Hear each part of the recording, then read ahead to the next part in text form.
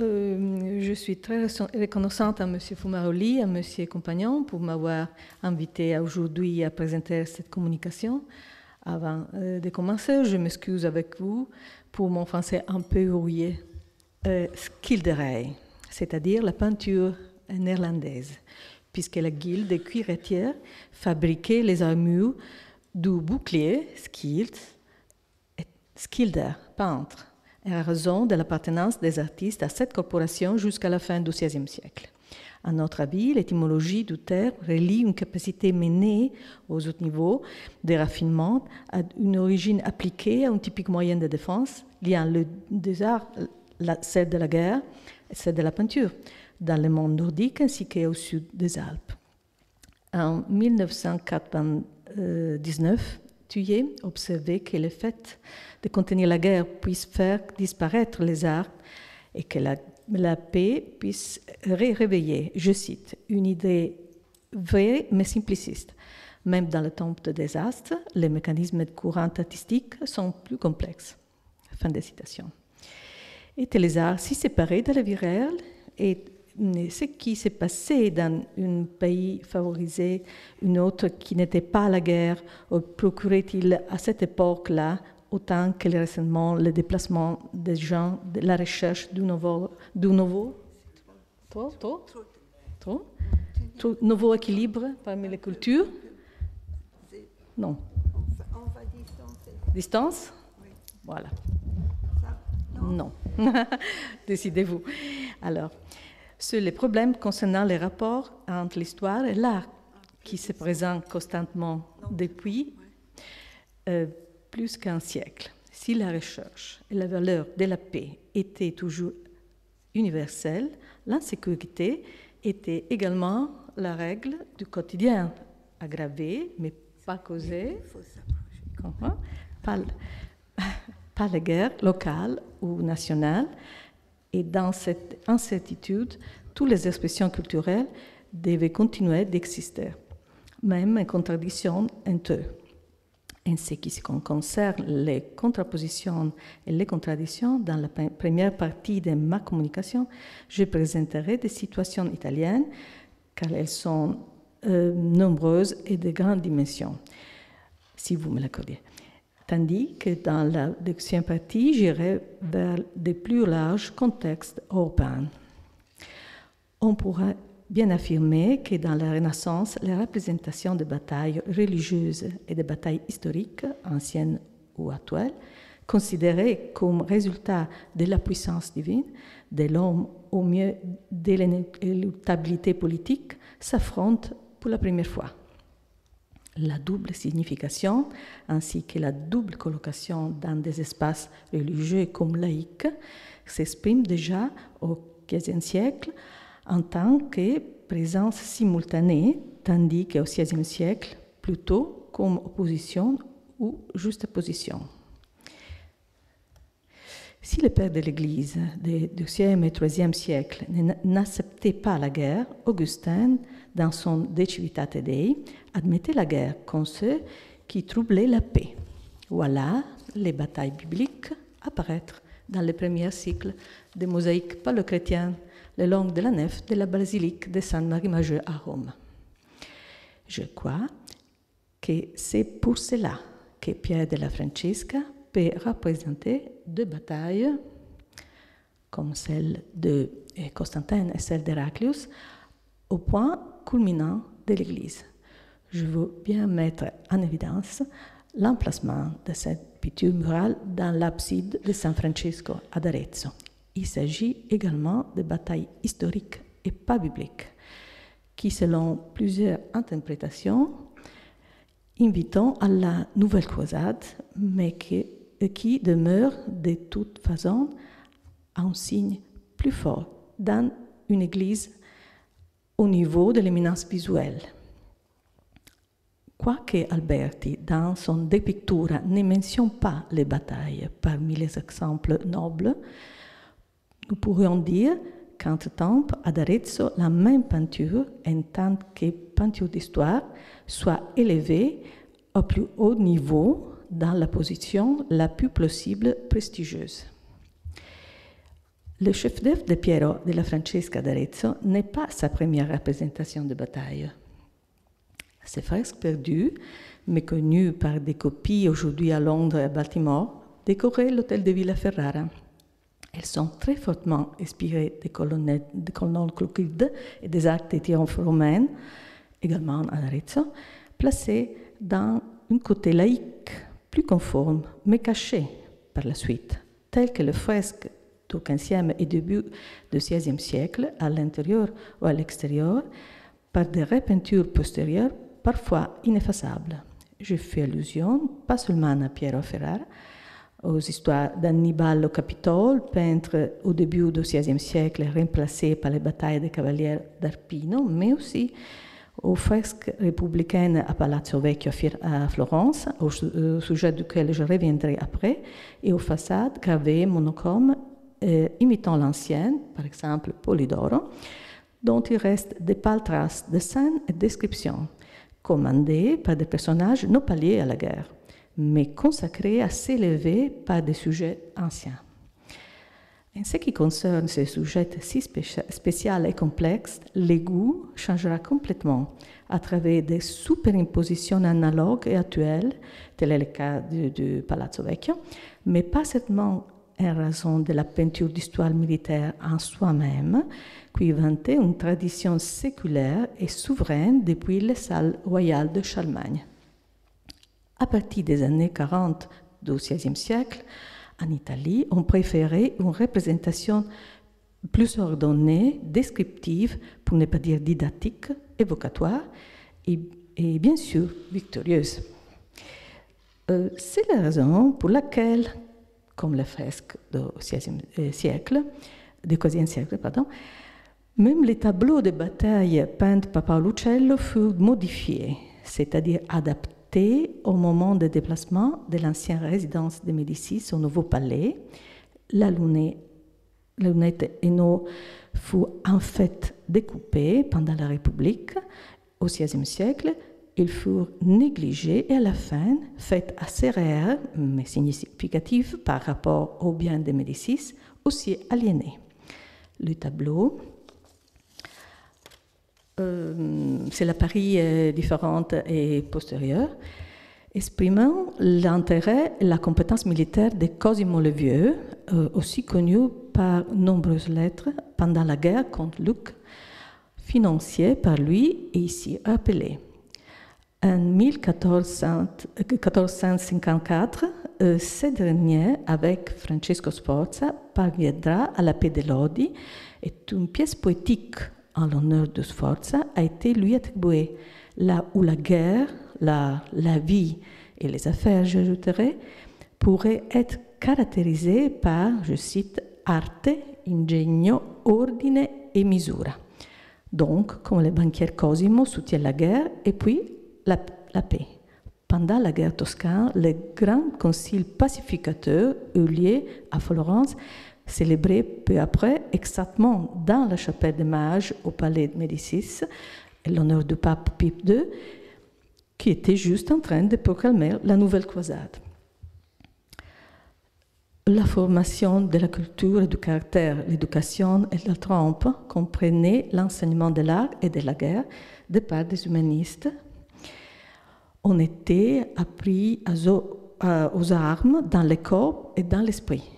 La lecture de textes anciens d'histoire n'était pas un, simple exercice linguistique ou un plaisir littéraire. Et d'ailleurs, des usages de nouvelles armes à feu, c'est ça, et polybe pouvaient servir de formation plutôt que de stratégie avec des sources manuscrites imprimées dans des éditions philologiques, avec le but de donner des modèles de lecture plus que des connaissances techniquement dépassées. Dans toute l'Europe, on créait des armures toujours plus belles, mais toujours plus inutiles qu'ont les armes à feu. Elle était mise en valeur dans de nombreux portraits peints, on dirait là, dans une œuvre d'art quasiment comme la forme du corps, au-delà de la forme mentis, dans des statues équestres célébrant le triomphe après la guerre ou représentant les garants de la paix. J'ai soupçon, au contraire, que chaque fois qu'un seigneur se faisait peindre un portrait sans armes, il faisait allusion à son rôle de pacificateur. Du reste, la représentation de la guerre et de la paix sont typiques du pouvoir. Elle appartient à tous qui ont les pouvoirs de commande, mais pas aux banquiers qui tirent profit de, de circonstances. On l'a déjà remarqué pour Cosimo Levier, puisque difficilement on aura un Kiji ou un fugue commanditaire de scènes de guerre ou de paix. Frédéric, duc de Montefeltro, exprime une synthèse efficace d'études et des vertus guerrières dans son portrait, qui le représente complètement armé dans un palais, un palais de la Renaissance, aussi décoré à l'extérieur par des machines de guerre, très éloquentes. Au cours de la première euh, ou de la deuxième Renaissance, dans la bibliothèque du duc de Montefeltro, à l'instar des autres, il y avait un large nombre d'ouvrages mathématiques ou historiques illustrés et traduits, des traités auxquels s'ajoutera des gravures et, et, puis à la fin des allégories. On passe vite des specula principum aux autres manuscrits parvenus à Venise à travers le don de Bessarion, par exemple les tactiques d'Eliano, traduits et publiés avec les diagrammes et aux degrés militari di Roberto Valturio ou encore au XVIe siècle, Machiavelli dans le troisième chapitre de l'art de la guerre. En 1548, Ramon de Fourquevaux, dans sa instruction sur les faits de la guerre, sciences militaires se composant de nombres et de lettres, de schémas et de tactiques. Faire la paix, et de la guerre, analyser les deux États et tous les passages intermédiaires des négociations et de diplomatie. Il demandait des dons intellectuels ainsi qu'une personnalité multiforme de l'histoire à la mathématique. Donc, toutes les représentations contribuaient à fortifier, cette mentalité. Dans les nouvelles forteresses, on n'aurait pas trouvé des scènes de guerre, mais seulement celles imitant l'ancien on tombe sous un autre cas de contradiction apparente, puisque la représentation des guerres de bataille ne se trouve pas à l'intérieur de forteresses ou dans les lieux de défense, mais dans des palais municipaux. Et puis après, seulement des particuliers. Je vais mentionner seulement la grande frise imitant l'ancienne dans la résidence de l'évêque année à la forteresse, euh, forteresse château d'Ostie, euh, qui représente une obsession. La résidence se trouve à l'intérieur d'un petit bourg de la Renaissance fortifié. Il s'agit d'une fortification sixtine sous le contrôle du cardinal de Stoutville et après de Giuliano la Rovere. Après quelques décennies, Perrine Delvaga peignait les histoires d'Alexandre au château Saint-Ange et, et Nicolas de l'Abate l'épopée virgilienne de l'Énéide dans la forteresse château de Scandiano. Mais ces cas-là sont très rares. Pas de médaille portant au verso la paix, l'abondance et la justice, le pape Jules de la Rovere, peu avant mentionné, s'était engagé à se déclarer un vrai pacificateur, comme a remarqué Weiss, en s'inspirant encore une fois d'une tradition ancienne, euh, dans, dans ce cas-là, euh, César, célébrant dans la numismatique de la Renaissance toujours la paix et la victoire. Le pape de la Rovere, qui était en vérité le seul pape général, tandis qu'il ne manquait pas d'exemples de pertes dans la Bible ou de saints guerriers, n'échappait pas à son destin de guerrière. Par rapport à cela, il faut rappeler l'épisode de la statue de bronze du pape, sculptée par Michel-Ange et placée à San Petronio, avait, été détruit et fondu par les Cestes afin de transformer en canon. L'été 1513, le pape Jules meurt, pendant que Raphaël le représentait comme Léon Ier pacificateur contre Attila dans les chambres au Vatican. Son portrait devenait celui de Léon X, qui dans son âge d'or comprend aussi dans le même appartement la décoration des batailles d'Ostie, dans la salle de l'incendie des Beaux, et celle de Pontemilvio, peintre par Romain, dans les salles de Constantin, là où l'allégorie de la paix est dévalorisée car reléguée à la base. Encore une fois, il apparaît une sorte de contradiction entre action et représentation, autant plus éloquente si on pense à l'interprétation négative positive de deux papes, donnée en même temps par Erasme, mais sur ce sujet, je reviendrai plus tard. Après 50 ans, sous l'impulsion des événements et du radical changement de style, on raconte l'histoire contemporaine.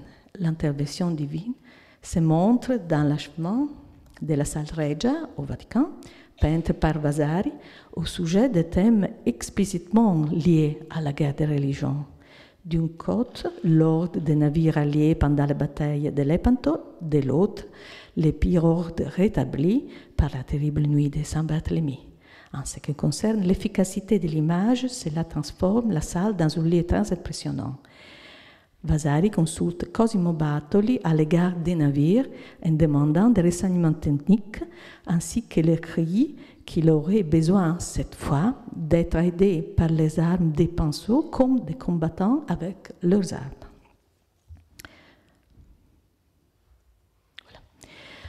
Au Moyen Âge, la guerre, la paix s'est juste posée dans les palais municipaux. Au cours de la Renaissance, elle domine dans les palais des particuliers au sein toujours plus personnel et dynastique. Sous l'impulsion de l'urgence de la guerre, on s'aperçoit de l'excession représentée par les batailles de Michel-Ange et Léonard à Palazzo Vecchio à Florence, ainsi que la statue de Christ en tant que protecteur de la ville, commandée à Andrea Sansovino en 1502, aurait été placée juste à côté d'eux, à côté alors que juste en face, c'était prévu de placer l'hôtel avec Saint-Victor et Saint-Pierre, commandé à Filippino Pilippi à l'occasion des batailles et un lieu les jours de la fête de Deux Saints.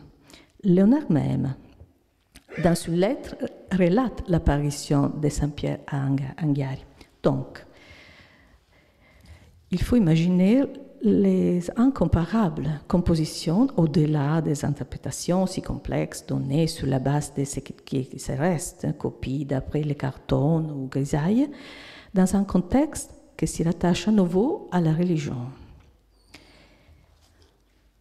La disaffection de Léonard pour sa peinture murale est renommée. Par contre, son intérêt pour le thème n'était pas épisodique même s'il a été mieux exprimé à travers un autre moyen créateur, je dirais encore plus, plus innovateur. Plusieurs années avant, Léonard, qu'il fut un ingénieur militaire mais pas un combattant, il avait quand même imaginé la façon de peindre une bataille. On s'aperçoit, Lisa, son écrit, un vrai texte littéraire, les premiers, le seul en prose pour dessiner, qui suscite encore plus qu'à travers la peinture ce qui s'en passe dans la bataille. Il n'y a pas l'antique, même par l'ordre mathématique, ni la victoire dans ce deux de Michel-Ange et Léonard et l'a perdu au début du XVIe siècle. Dans la même salle, un demi-siècle après, Vasari faisait exactement le contraire. Sur ce sujet, m'arrêterai juste un moment pour ne pas oublier la version littéraire farceuse sur le sujet de la guerre, sur Giorgino, qui à l'âge de 15 ans, c'est-à-dire un an avant le sac de Rome, c'est l'auteur d'une plaisanterie à M. Carlo Massimi, Massaini, je cite Utriusque sexus doctori indignissimo apud l'esercito spagnolo a Milan. Fin de citation. Je ne vais mm, pas relater ni les très longues lettres adressées à, Pietro Rettino datant de 1535-6 quoiqu'elles euh, sont très riches de détails descriptifs à propos des troupes euh, impériaux avec Charles V en parade à l'entrée à Florence, ni les passages concernant les histoires perdues de, César au Palazzo Médicis pour le duc Alexandre. Voici un autre exemple des peintures de guerre enlevées. C'est impossible et artificiel d'écrire réellement en bataille, une bataille. De toute façon, il est dessiné ou même redessiné, même par les historiens, seulement après, quand on sait quoi s'est passé, comment les forces étaient déployées et quel était le facteur décisif à mettre en évidence. C'est impossible d'être témoin oculaire et surtout, ce n'est pas le cas de représenter des batailles perdues. Dans le même Palazzo Vecchio, devenu la résidence de Cosimo Ier, Vasari interprète rigoureusement les stratégies de victoire du duc où le nombre et l'ordre sont un diagramme, en déployant un modèle esthétique de force au champ structuré selon un système distributif intertextuel, concordé avec les ducs. Ces systèmes intéressent autant le peintre, comme le témoignent ses écrits, que la crédibilité de la narration historique, maintenant sans, sans aucune intervention surnaturelle. Si en 1545, Cosimo avait commandé à Salviati un triomphe classique avec la guerre, la paix, la, la justice et la victoire dans la salle de l'audience. Au cours de la décennie suivante, il n'utilisait plus les filtres de l'Antiquité, mais il reconstruisait ses batailles et ses victoires directement à la manière du présent, du nouveau. Et donc, voilà que la représentation de la guerre appartient maintenant l'histoire. De toute façon, la peinture d'histoire de la paix et de la guerre est devenue une question européenne, pour ne pas dire impériale. Dans son dialogue sur les erreurs des peintres dédié en 1564 au cardinal Farnèse, l'écrivain Giglio, en se demandant si la peinture de la guerre soit quelque chose de moderne ou ancien, il se référait inévitablement à deux représentations de pacification avec Charles V. La première voulue par Francesco della Rovere dans la ville impériale de Pesaro, la deuxième dans différents palais et villas de la famille Farnèse avec la présence, la présence indispensable du euh, pape Paul III et du roi de France.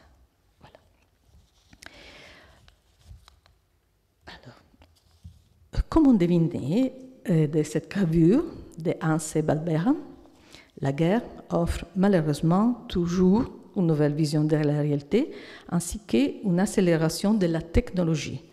Cette image de Vienne à Siger rappelle l'utilisation pour nous quotidienne de Google Earth, d'Internet, résultat de la communication et des satellites militaires. J'essaierai maintenant par quelques exemples de donner une vision plus large du XVIe siècle et choisissant un point de vue, disons, différent grâce aux différents moyens figuratifs et sujets avec des intentions différentes qui naissaient pas seulement des commanditaires, chefs de la guerre et de la paix, mais aussi des artistes qui créent œuvres, ces œuvres spontanément à travers des gravures et des dessins plus individuels et surtout plus diffusés pour un usage pratique ainsi que historique narratif et puis enfin allégorique. Donc, par des instances différentes, l'exactitude et le cadre d'ensemble d'un côté, l'imagination visuelle et littéraire de l'autre, euh, les montrent l'ordre stratégique mathématique finalisé à la préparation et à la participation individuelle avec curiosité, avec pathos ou avec l'esprit, et les souvenirs d'événements fournit les plusieurs clés de lecture au niveau du style et de l'interprétation, parfois dans les mêmes artistes, comme il est, il est le cas éloquent de Hohenberg, qui faisait des gravures représentant l'ordre des batailles, ainsi que le désastre de l'iconoclasme. L'intense production d'artistique du début du XVIe siècle au sujet des mercenaires et la nouveauté de l'indépendance artistique. Plus fort est la condamnation par Erasme, plus fréquemment les soldats étaient représentés par les artistes nordiques dans des disparates situations, dans les dessins et les gravures. Il est impossible de croire que les artistes et surtout les publics ne connaissaient pas les éditions de la Querella Pacis, publiées en plusieurs langues. On pourrait croire que le grand pacificateur ait été provoqué par les gravures circulantes. Face à la guerre, l'histoire et l'art, ainsi que la philosophie et l'art, utilisent des modalités différentes. L'éthique d'Erasme, soldat chrétien pacificateur, s'était opposé à celle du pape Jules II.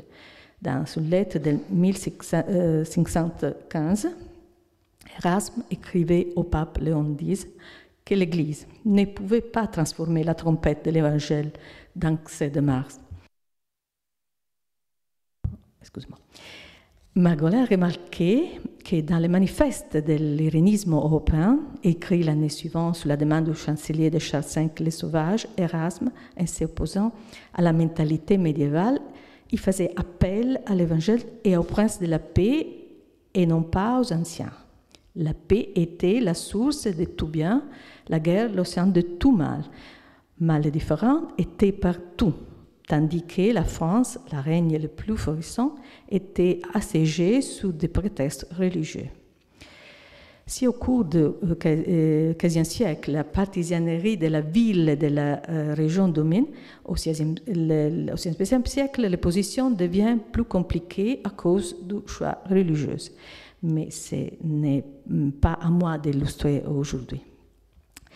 Ainsi que les artistes européens avait devant les yeux plusieurs routes. La peinture de guerre, quasiment des chroniques, les cartographies ou les chroniques, la célébration de la paix, de la victoire et du triomphe, ainsi que euh, les différents événements vécus, tel est le cas de Vermeyen, ou la même la participation aux différents, avec tous les langues possibles à travers les œuvres. Bien sûr, la manière offrait d'instruments de style assez convenables. Les guerres et les batailles se déroulaient dans le lieu loin de la vie artistique, tel que le cours des grandes villes toujours bien défendues. Mais alors qu'elle apparaît, le désastre était insoutenable. Dans la campagne de discussion concernant les œuvres, dans la ville, même les artistes et les tissus culturels. Grands artistes prenaient leur position à la première personne, et à part Michel-Ange en défense de Florence, je pense surtout aux gravures de Dürer de son point de vue pour l'empereur. Il exprimant des nouvelles pensées dans une forme inusitée. Hemskirk, à partir de positions opposées, passées à allégories si complexes et emblématiques, très connues et très géniales. Et après, Peter Prekel, par un choix de style très différent, et par sa satire de la guerre en raison, de l'argent et non pas des idéaux. Euh, je viens de citer la figure de Dürer en tant que l'artiste est très, lié à, Basbourg il faudra dire que dans l'Europe entière, la célébration des gestes impériaux s'inscrit dans les circuits de la grande peinture d'histoire, encouragée par les mêmes réunions et par les alliés, sous des formes et des moyens artistiques différents. Maximilien Ier commandait un inventaire illustré de ses, euh, artilleries, le Zeugbücher, à partir de 1505, euh, et faisait préparer le Weißkönig illustré par des centaines de gravures sur la préparation guerrière. Le suivant règne de Charles V est un voyage en guerre infinie, glorifié de toutes les manières, de raffinées médailles à villes redessinées à l'occasion de ces triomphes, célébrés aussi dans, les églises par les tapis. Pendant la conquête de Tunis, euh, l'empereur fut conduit par un vrai coup des cosmographes, des poètes prêts à les célébrer, et par le peintre Vermeyen, au début chargé seulement de tirer des gravures. Il a est né, par contre, bien 12 cartons préparatoires pour les tapis de 4 mètres de haut et de 12 mètres de large, dont il conservé à Vienne, qui, par leur dimension, illustrent en détail les théâtres de guerre, mais, pas seulement euh, cela. Euh, les, les importent de titres explicatifs, navigation, escaramouche, la vraie bataille, les sacs, danse de, de scène, etc. Comme dans les textes anciens, la valeur des vaincus augmente par rapport à, à celle des vainqueurs.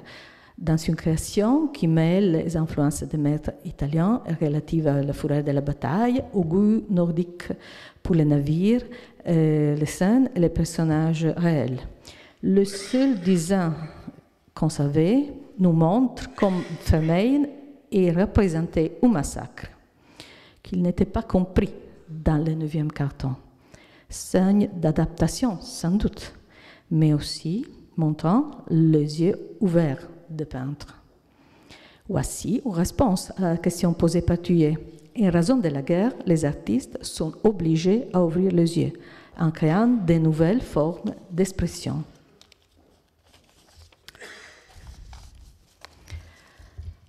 Euh, dans le Panegyricus d'automne en 1504, Erasme écrivait que juste en temps de paix, les arts florissants grâce aux, euh, aux études et au commerce mais en temps de guerre, l'art disparaît. Au l'air d'or, selon la grande toile, aujourd'hui à Turin, peinte par Lucas de Hire, datant au début des années 60, quand le peintre huguenot était rentré à Rente euh, avant l'exil à Londres et le retour sous euh, Guillaume d'Orange. Nous aimons mieux le titre Les arts réveillés plutôt que celui Coran puisque les arts libéraux dorment en temps de guerre. À l'arrière-plan, la fureur vient de chasser tous les arts, tandis que Mercure recueillait les messages du Conseil de Dieu, parmi lesquels se détache au, premier plan justement Mars, et il réveille par les caducées les arts à partir de la poésie ou de la rhétorique. À la vie de Schraven, il signifie que la constance de l'être euh, c'est n'était jamais, même pas en termes de guerre. Mercure, c'est le dieu de l'éloquence, mais il faudra le considérer également le protecteur des arts, soutenant la paix. L'histoire dort dessus de la colonne Coclide, glorifiant le geste de la guerre, tandis qu'en bas, la bataille représentée euh, représente une bataille ancienne. Très symptomatiquement, le Dehere choisit un style plus romain qu'autochtone. L'inscription sur la plaquette en bas, au-dessus de la mathématique, elle dit Il érige des monuments solides et amenant à la lumière ce qui était caché dans l'ombre.